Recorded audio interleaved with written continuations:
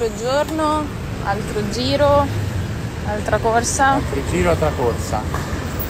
Il tempo sembra assisterci, ma non voglio dirlo troppo ad alta voce perché il cielo non è che sia proprio bellissimo, però c'è sole. E niente, il mio mal di testa cervicale ancora, ancora c'è, quindi spero che passi presto nei prossimi giorni e stavo rischiando di finire sotto la macchina. Però vabbè, tutto sommato va tutto bene. Mattinata tra donne! Abbiamo fatto una bellissima colazione. E ora andiamo a fare qualche acquisto.